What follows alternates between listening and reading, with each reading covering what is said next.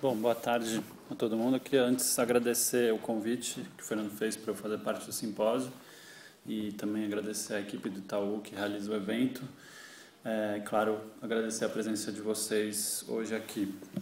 Aqui, nessa que é a sexta edição da Bienal Internacional de Arte e Tecnologia, mas também, até onde eu sei, é a última edição do evento. A Lisete até falou um pouco sobre isso ontem. É, eu não sei bem o que, que vai acontecer ou não, o que, que vai continuar existindo, o que, que vai deixar de existir, como, etc. Mas até se falou numa mudança do foco do interesse do Itaú para a ideia de economia criativa e tudo mais. Enfim, coincidentemente, para alegria ou não do Itaú, eu vou também abordar um pouco isso, por mais que indiretamente.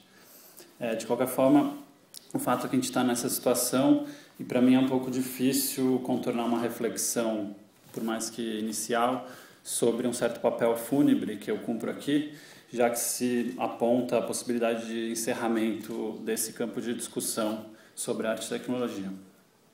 E aí, em relação a isso, é, é notável que foram e são né, muitos debates sobre a validade desse binômio, arte e tecnologia, e até mesmo o direito à existência dele. Né?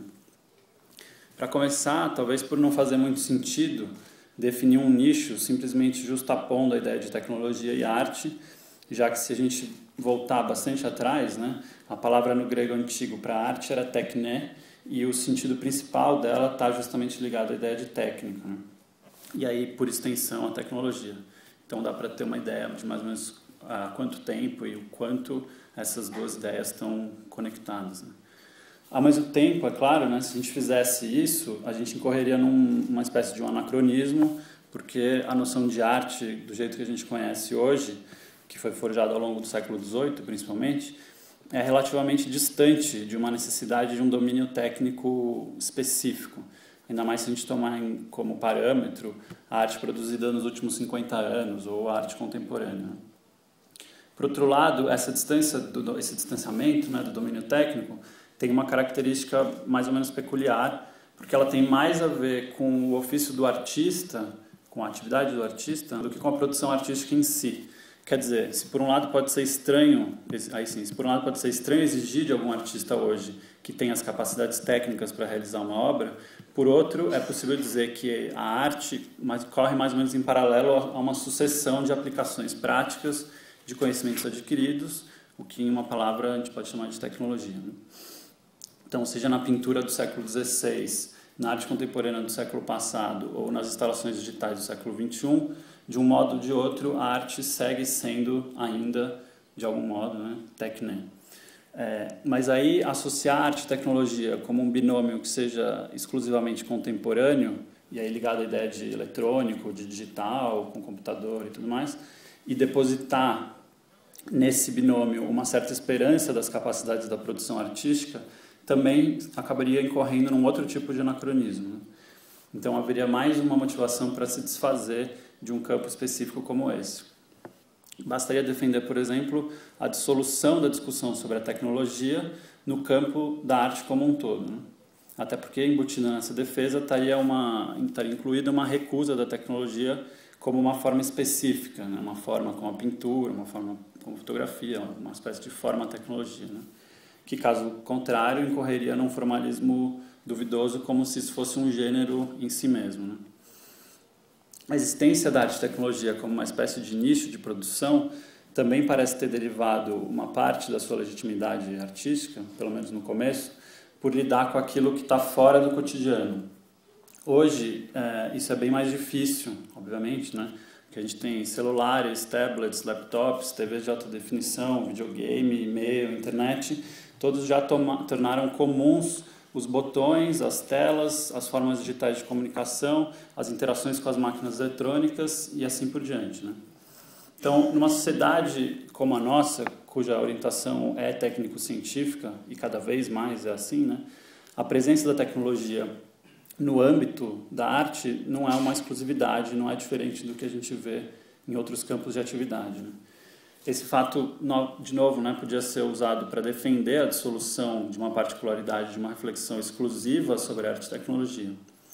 A gente vê hoje a impregnação da tecnologia nas coisas, em todas as coisas, e a massificação dessa impregnação cada vez mais rápida, né? ou seja, cada vez mais a tecnologia ela passa do, do dela ser é, criada para ela estar em todo lugar. Né?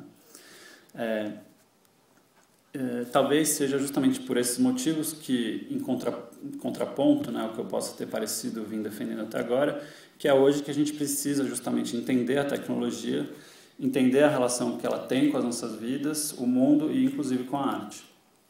Mas o fato é que essa tecnologia, em particular os computadores e principalmente os programas que fazem com que eles funcionem, ainda não foi incorporada de forma crítica por muitos dos artistas que lidam com ela. Né? É, o, que, o que não é muito diferente do que acontece também nos outros campos de atividade, onde, por exemplo, o computador ainda é visto como uma ferramenta, uma super ferramenta, é verdade, mas ainda é uma ferramenta. É, mais especificamente, na produção, que normalmente é chamada de arte e tecnologia, a gente vê em muitos casos o uso dos equipamentos como suportes para a criação de obras cujo valor é estético. Estético eu digo aqui no sentido banal mesmo da palavra, né? como um antônimo de anestesia ou como um estímulo sensorial, visual, sonoro e assim por diante.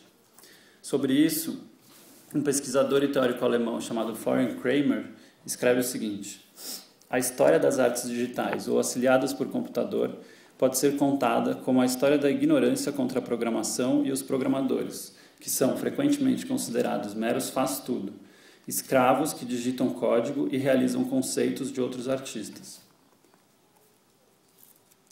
E ele continua. Essa é, na realidade, uma continuação direta da filosofia romântica que privilegia a esteses no sentido de percepção, né, sobre a poiesis, no sentido de construção, né, do fazer, barateada por um conceito limitado de arte como algo que se pode tocar, ouvir ou ver. Para entender isso mais concretamente, eu vou me ater a um trabalho que é chamado de, é, que tem o nome de 77 Million Paintings, que é 77 milhões de pinturas, né, de um músico inglês que é o Brian Eno. Então, ele, apesar dele ser bastante conhecido pelo seu trabalho musical, o Brian Eno se dedica também a produções visuais, como é o caso desse trabalho. Né? É, ele ficou conhecido é, na música, né? É, principalmente por esse tipo de composição nesse gênero que é chamado de ambient. Né?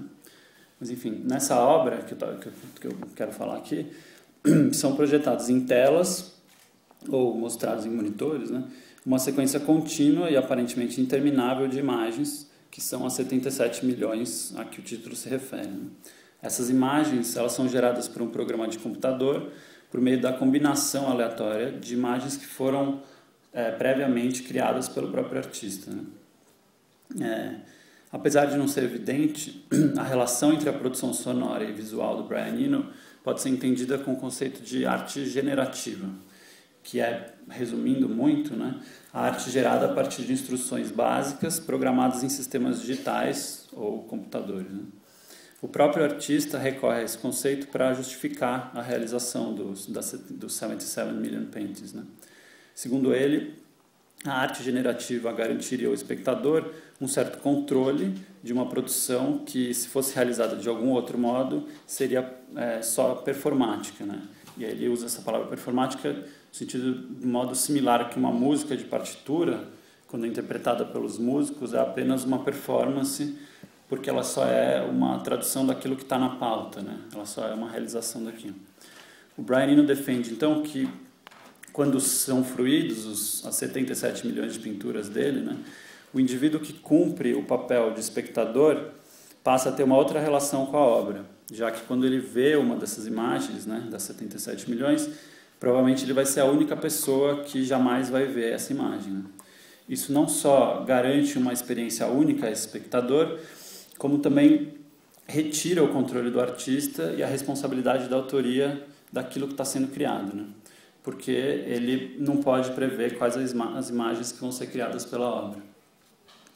Pelo modo como ele dá conta de uma espécie de anseio pela dissolução do papel do artista criador, o Brian Eno parece que acidentalmente, mas ao mesmo tempo não por acaso, né, alcança uma representação de um modo de produção que coloca ele e o público dele em lugares problemáticos parecidos com os de, por exemplo, alguns programadores de software e os, os usuários desses softwares. Né? É como se o artista e, analogamente, esses programadores, de algum modo se isentassem da responsabilidade do que eles estão produzindo e transferissem essa responsabilidade para o público. Quer dizer, como eles não têm como saber qual vai ser o uso, né, ou qual vai ser o sentido que vai ser derivado da, daquilo que eles estão produzindo, eles é, se isentam disso. Né? É, então, por exemplo, os responsáveis por um programa como o Photoshop é, supostamente não tem como prever para quais fins ele vai ser usado. De um outro lado, o público, ou os usuários do software, os espectadores, né, são levados a se entender no controle dos resultados que eles são capazes de alcançar usando essas ferramentas. Mas o fato é que elas têm os seus modos de funcionamento e limites já previamente determinado pelas pessoas que produziram elas. Né? Então, esses são limites que não só são intransponíveis, porque eles já são pré-determinados e fechados, né? como também, em geral, desconhecidos, né? uma espécie de caixa preta. Aí alguém poderia objetar que, em primeiro lugar, essa caixa preta se justifica na medida em que permite que o usuário se concentre naquelas coisas que não o funcionamento ou fazer funcionar aquilo que ele quer, ou seja, se, se for considerado que, que se, fosse, se fosse necessário saber fazer um, um computador, saber programar, montar, assim por diante, só para poder editar uma foto no Photoshop, a atividade de editar a foto seria praticamente impossível, inconcebível antes mesmo de começar. Né? Em segundo lugar, talvez também seja possível contra-argumentar que a possibilidade de produção de um sentido imprevisto ou desconhecido a partir de uma obra sempre foi o caso na arte. Né? Um artista não tem e nunca teve como saber ou controlar, se é que é essa palavra, como é que vão ser mobilizados os sentidos da produção dele. Né? Mas em relação a ambos os, esses argumentos, a obra de, do Brian Eno é, parece que não se sustenta por conta daquilo que ela se faz passar, né? o modo como ela se positiva. Então, para entender isso, eu acho que basta deslocar um pouco a compreensão sobre o que, que é a obra. Né? Ele parece sugerir que as imagens apresentadas não são a obra, e sim os sentidos que elas geram o que pode ser rebatido não apenas dizendo que as imagens são sim parte da obra, mas que a obra é essencialmente justamente aquela caixa preta que faz as imagens existirem, né? É, ou seja, o computador, o software que está rodando nele, ou como as imagens são combinadas e como as escolhas são feitas, por mais que sejam escolhas aleatórias e assim por diante. Então, fica claro que esse espectador ele não tem acesso exatamente à obra, e sim a uma superfície bastante superficial, epidérmica dela, né? que são essas imagens geradas. Então, desse jeito, né, desse modo, talvez inocentemente, se oculta o que seria realmente a proposta artística no movimento que faz o espectador acreditar que ele tem uma participação real no processo criativo, simplesmente porque ele produz sentido. Né? Mas isso, é justamente isso que afasta esse espectador da possibilidade da consciência do seu papel alienando ele daquilo que ele está fazendo ali. Né? Então, a hipótese que eu quero levantar aqui, com essa fala, né, é que essa forma de alienação, que a gente pode entender como uma, uma espécie de resultado de uma busca positivada pela superação dos papéis de produção e consumo, mas que acaba embaralhando esses papéis, é o resultado de um impulso é, pornográfico que se vê não só na produção de arte e tecnologia, mas também na arte, na produção artística de um modo geral e na sociedade como um todo também. Né? Quando eu estou falando aqui em pornografia, ainda que tenha relações né, com outros, outros sentidos, eu não me refiro exatamente a esse tipo de pornografia e nem esse. É, mas eu estou pensando em coisas muito, parecidas, muito mais no, na linha de algo como isso e também é, isso, ou ainda isso e isso e assim por diante. Para entender melhor essa ideia, eu vou mobilizar então como um contra-exemplo uma obra é, que se chama Espelho com Luz, do artista Valtércio Caldas. É um trabalho de 74 e nele é, é mostrado só um espelho quadrado, que vocês estão vendo aí na imagem, que tem um metro de lado, e dentro do espelho tem um botão que quando ele é apertado acende uma luz vermelha que fica em cima do botão. e é só isso. O trabalho é só esse, é esse botão, esse espelho, essa luz. Ele não tem é, grandes pirotecnias, imagens cativantes, efeitos especiais, nada assim.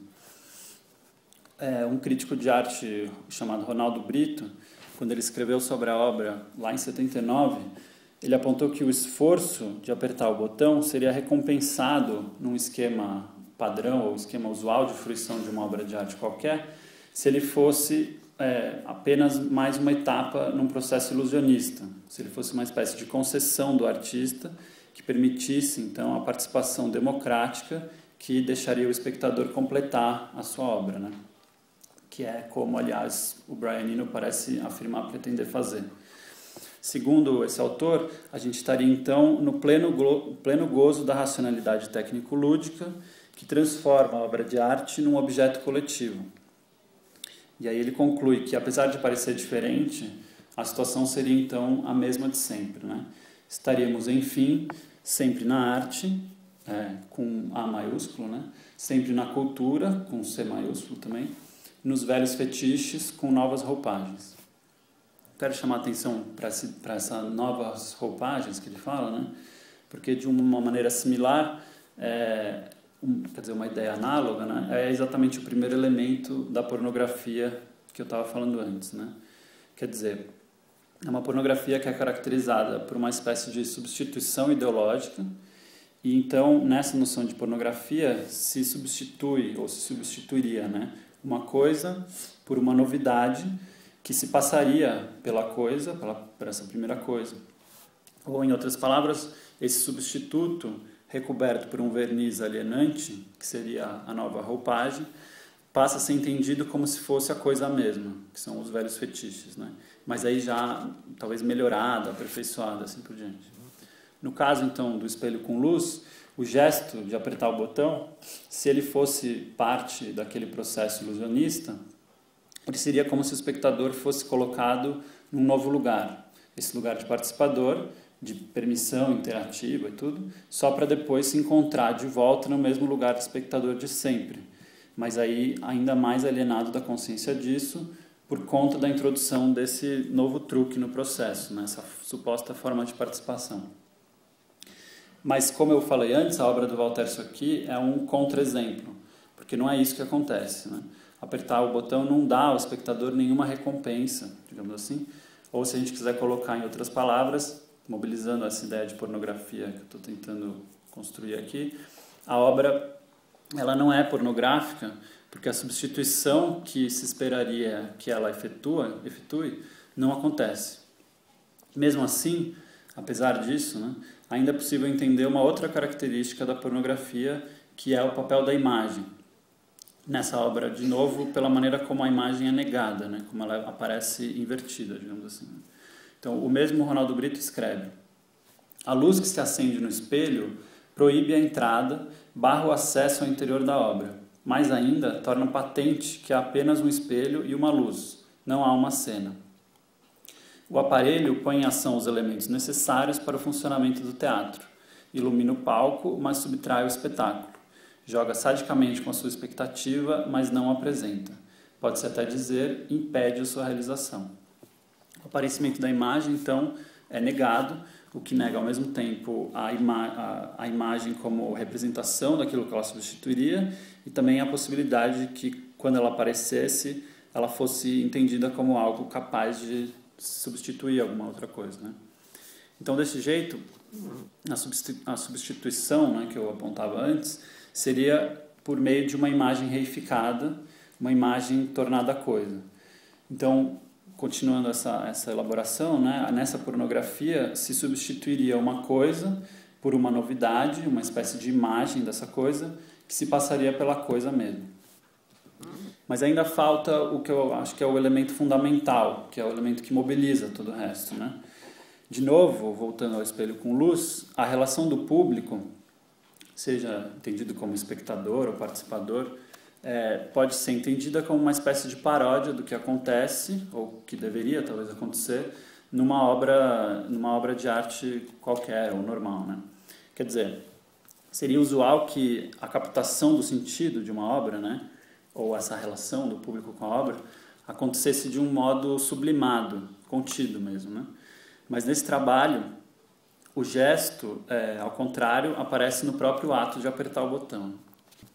Mas como a gente viu, né, né nesse caso dessa obra, o apertar o botão é muito mais um momento de frustração do que de epifania. Né?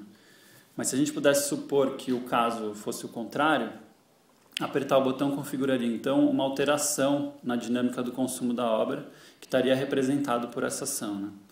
E aí aparece esse elemento da pornografia que mobiliza o resto, que é justamente o consumo. Assim, finalmente, a gente pode formular que nessa pornografia pretenderia se substituir uma coisa por uma novidade, uma espécie de imagem dessa coisa, que se passaria pela coisa mesma para assim tornar é, ela consumível. Né? O, cineasta austríaco Michael Haneke, quando ele diferencia o pornográfico do obsceno, ele coloca nas seguintes palavras e diz, né? Na minha definição, pode ser chamada de obscena qualquer coisa que se distancia da norma burguesa, quer esteja preocupada com a sexualidade ou outra questão tabu, qualquer coisa que quebra com a norma é obscena. À medida em que a verdade é sempre obscena, espero que todos os meus, os meus filmes tenham pelo menos um elemento de obscenidade. E aí ele continua. Em contraste, a pornografia é o oposto, já que é o que torna a mercadoria aquilo que é obsceno, faz do não usual, da exceção, né, algo consumível. E isso a gente pode resumir com uma palavra que é cooptação. Né? E aí ele termina. Não é o aspecto sexual, mas o aspecto comercial que faz do pornô algo repulsivo. Acredito que qualquer prática artística é pornográfica se tenta ser um curativo sobre uma ferida, digamos assim, psicológica e social. Mas apesar da, da contundência né, dessa definição que ele dá, as noções de consumo e mercadoria que aparecem nos termos da fala dele podem ser um pouco anacrônicas. Aparentemente, elas implicam uma separação clara entre a figura do produtor e do consumidor, enquanto que o que a gente vê hoje é, parece ser bastante diferente. Então, no caso do, do espelho com luz, a gente pode entender que a interatividade negada, né, por esse ato de apertar o botão, ela prenunciaria a transferência de parte da responsabilidade da produção da obra para o espectador, que, deixa, e, que deixaria de estar atrelado exclusivamente ao artista. Né? É, um outro jeito de entender isso é voltando para a obra do Brian Eno, mas isso aparece aqui num outro registro, que é um registro positivo. Né?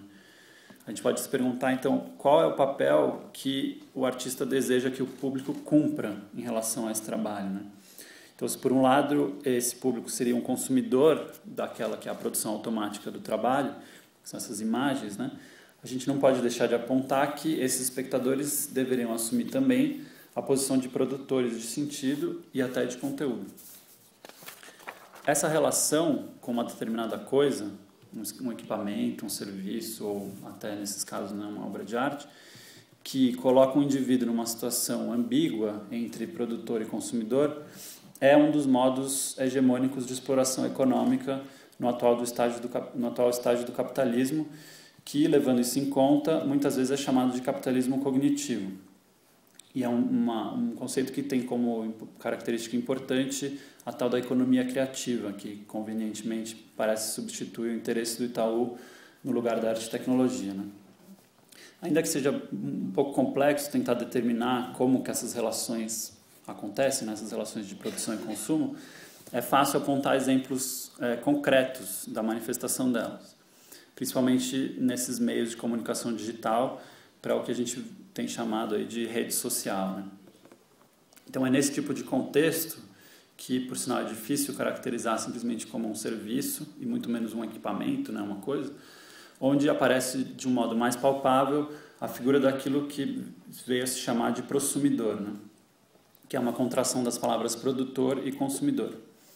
Então, no Google, no Facebook, no Twitter ou no Flickr, que são serviços desse tipo, né, é, os usuários são colocados numa posição em que o próprio ato de aparentemente produzir alguma coisa é também um ato de consumo. Né? Eu não sei o quanto que isso é claro para todo mundo aqui, mas é mais ou menos evidente que o Google, sem todo o resto da internet, todo o conteúdo que está na internet, ou o Facebook, sem os usuários que estão constantemente alimentando ele, são estruturas vazias e sem sentido. Né? No Facebook, por exemplo, são os usuários e o conteúdo que eles colocam no site que dão razão à existência dele. Né? E parte da esperteza de quem faz esses sites está justamente em transformar esse conteúdo, esse é, sentido que é colocado ali dentro, em dinheiro, né? em lucro. Quem faz esses sites pode alegar, em defesa própria, né, que o serviço é oferecido gratuitamente. E, em troca, os usuários simplesmente se beneficiam dele, usam o serviço. Né? Mas o pagamento vamos dizer assim, né, se dá pela exposição à propaganda, que é, aliás, como a maioria dos sites na internet funciona, né, se mantém por propaganda. Então é como se os usuários oferecessem a atenção deles em troca desse serviço. Mas a esperteza maior ainda é que para os usuários tudo se passa como se eles estivessem produzindo e é uma recompensa também da ordem da diversão, do prazer. É óbvio, né? Diferente de ler uma revista e se deparar com uma propaganda em uma ou outra página, os membros do Facebook, só para ficar num exemplo, atualizam seus status, colocam links, criam eventos, compartilham fotos e vídeos, comentam e, acima de tudo, curtem. Duas semanas atrás, aconteceu a oferta pública inicial das ações do Facebook na Bolsa de Valores de Nova York. Né? Foi uma das maiores aberturas de capital de toda a história e totalizou aproximadamente a inacreditável soma de 100 bilhões de dólares, que só para dar um, um parâmetro é mais de 10 vezes o lucro que o Banco Itaú teve no ano passado inteiro. Né? O que é curioso é que, em alguma medida, essa valorização tão explícita é constrangedora para o próprio Facebook, ou para essa esperteza de como ele funciona. Né? Porque é justamente essa valorização que deixa entrever o quanto que o usuário, esse prosumidor, não é simplesmente um consumidor que produz e nem um produtor que consome. E isso é mais ou menos evidente. É, se o Facebook vale tanto, os seus usuários também valem de algum modo, né? Ou melhor, ou pior, na verdade, né? O trabalho que eles realizam também vale. Mas os usuários, eles não estão sendo é, recompensados. Eles não estão sendo remunerados por esse trabalho que eles fazem, né? É, quer dizer, ainda que o, que o usuário do Facebook produza algo, essa produção não tem um retorno financeiro para ele, porque é como se o retorno fosse, o que poderia ser esse retorno, né, fosse a todo tempo imediatamente cooptado pelo Facebook. Então, a produção ela não se dá em termos, digamos assim, clássicos, né? Como, sei lá, quando um sapateiro faz um sapato, ele vende o sapato e ele ganha por isso. Então, no fim, é como se os usuários escolhessem ser explorados. Parece a princípio uma troca justa, mas o grande beneficiário é o Facebook e o usuário acaba é, trabalhando praticamente de graça. Não só ele oferece a cognição dele para ser explorada pelas propagandas, né?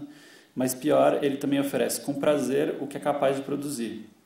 E ainda por cima, escolhe por vontade própria se sujeitar a isso nessa espécie de autoproletarização. Né?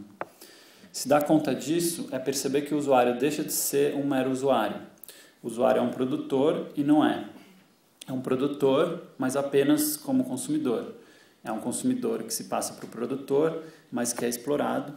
É apenas um consumidor, mas já duplamente alienado, porque é simultaneamente alienado da sua produção e do consumo. Aí, então, a pornografia, só para retomar essa ideia, está toda aí, né? É uma novidade, uma espécie de imagem, é uma representação da interação social que se passa pela coisa mesma, enquanto ela é consumida, ainda que dentro desse movimento complexo e contraditório. E se a pornografia trata de produzir valor de consumo pela cooptação da exceção, como a gente viu antes, né? qual a exceção que né, pode ser mais conveniente e sedutora para ser cooptada para garantir a manutenção do status quo do que a própria ideia de revolução? No ano passado, é, acho que todo mundo viu exatamente esse processo muito exacerbado durante o que ficou conhecido como Primavera Árabe. Né?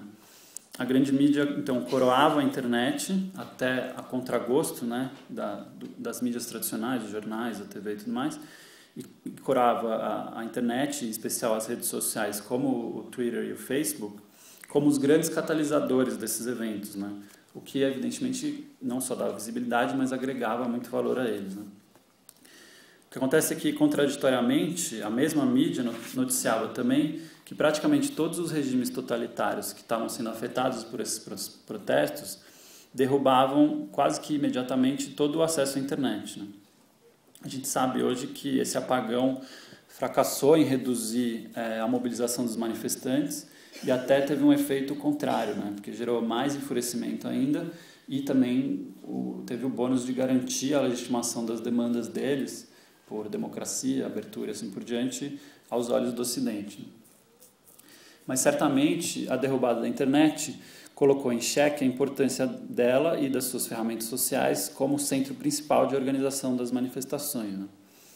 Como se isso não fosse suficiente, existem também, ainda que soterrados em tudo, toda a quantidade de informação que se produziu sobre esses, essas manifestações e tudo mais, é, documentos que foram coletados nas próprias manifestações, principalmente no Egito, como panfletos e guias de protesto que tornam bastante clara a preocupação dos manifestantes, que ao contrário do que pode parecer, né, porque a gente só consegue ler as duas palavras Twitter e Facebook, ou eu pelo menos, é, pedem explicitamente que não sejam usados esses serviços. Né?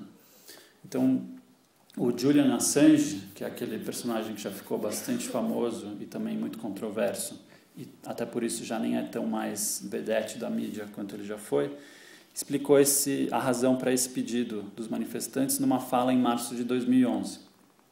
Ele disse: Na verdade, houve sim uma revolta tipo Facebook no Cairo três ou quatro anos atrás. Ela foi bem pequena, mas depois dela o Facebook foi usado para que se descobrissem todos os participantes principais. E então eles foram espancados, interrogados e presos.